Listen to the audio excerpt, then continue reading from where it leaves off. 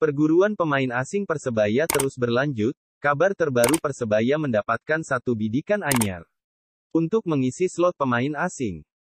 Kali ini giliran gelandang muda asal Brazil, yaitu Igor Vidal. Disebut sebagai incaran Persebaya berikutnya, Vidal merupakan pesepak bola asal Brazil yang lahir tanggal 26 September tahun 1996. Ia saat ini masih membela klub Liga 2 Yunani yaitu Anak Vidal diketahui merupakan pemain yang berposisi sebagai gelandang serang bisa juga sebagai winger. Vidal yang kini berusia 25 tahun, memulai karir juniornya di klub kasta keempat di Brazil, yaitu Parana.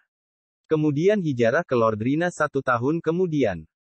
Lalu, Vidal memulai karir profesional di Yunani dan bergabung dengan klub divisi pertama yaitu PAS Gianninan FC dan hanya bermain tiga musim, mencatatkan 48 pertandingan menyumbang tiga gol.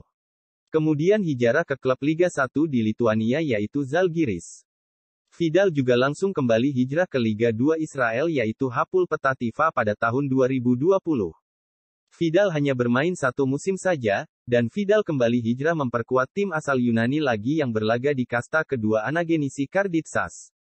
Dan sekarang dikaitkan dengan klub Liga 1 Indonesia, yaitu Persebaya Surabaya, untuk mengarungi kompetisi tahun depan, seperti diketahui nilai pasar Vidal di angka 2,61 miliar.